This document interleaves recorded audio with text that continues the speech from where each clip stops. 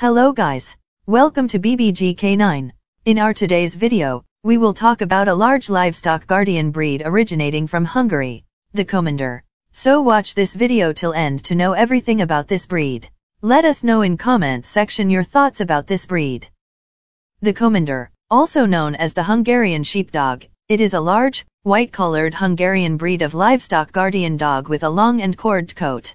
Sometimes they are referred as mop dogs. The Komondor is a long-established dog breed commonly employed to guard livestock and other property. The breed has been declared one of Hungary's national treasure, and to be preserved and protected from modification. Komondor puppies take a long time to reach maturity, generally three years or so, but when they do, they have a calm and devoted personality. The Komondor males stand around 27 inches tall and weigh up to 100 or more pounds, and females stand around 25 inches tall and weigh up to 80 or more pounds. However, many dogs of the breed can be smaller or larger than average. Komondor have an average lifespan of around 10 to 12 years. They require 20 to 25 minutes walks twice a day or half an hour of vigorous exercise to keep them fit and happy.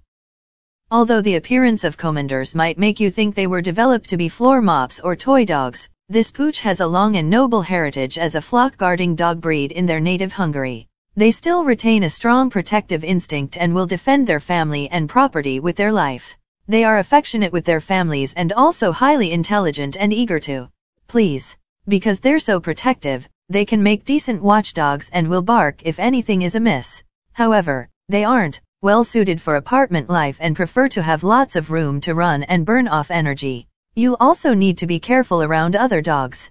Komondor can be aggressive toward other dogs they don't know, and some aren't capable of sharing a home with another canine. However, they may have excellent relations with cats and livestock as they were bred for the same purpose. Komondor are good companions for children in their own family, but they may have difficulty accepting visiting children. They're best suited to homes with older children who understand and know how to interact with dogs. Always supervise Komondor when they're with children, and never leave them alone with young children to avoid mishaps. Thanks for watching. Let us know in comments your thoughts about this breed. If enjoyed watching this video do like and subscribe for more such content.